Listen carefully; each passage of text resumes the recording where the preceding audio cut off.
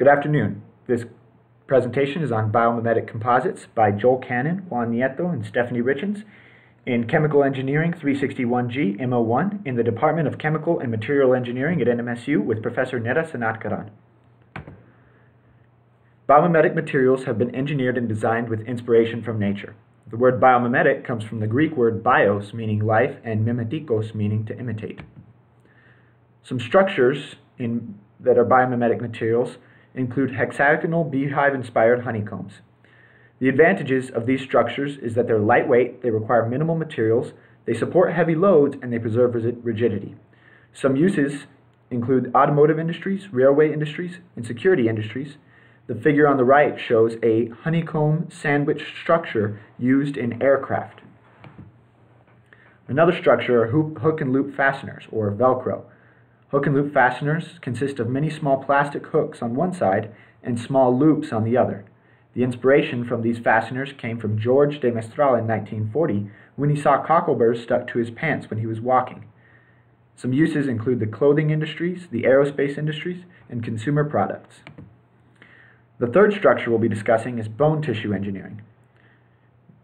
A one way to do this is mimicking the structure of bone tissue to create composites for medical uses. The materials used are often gelatin, collagen, and bioactive ceramics. Some uses include mending fractures and breaks, degenerative bone diseases, and with patients undergoing radiation therapy.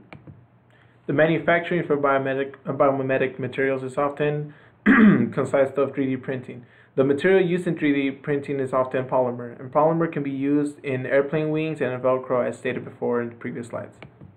The applications to biomimetic composites is actually limitless. As seen to the right, um, biomimetics here is applied by the concept of a box fish's body.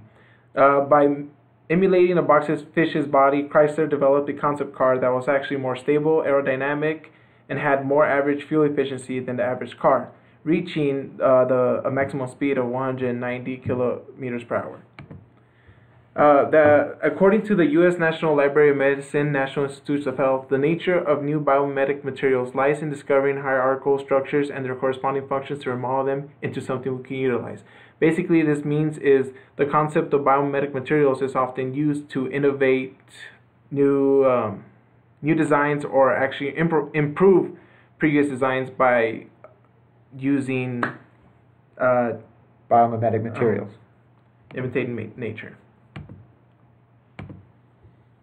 Uh, the main challenges for biomimetic composites is actually finding a problem that can be applied to, to the modern world, finding qualified scientists in different fields that work together, the lack of technology that it takes to manufacture these biomimetic composites, and the actual cost of manufacturing these um, biomimetic, biomimetic composites.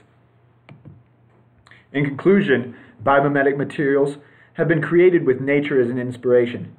They can be seen in common structures like Velcro, ceramic and bone scaffolds, airplane wings, and concept vehicles.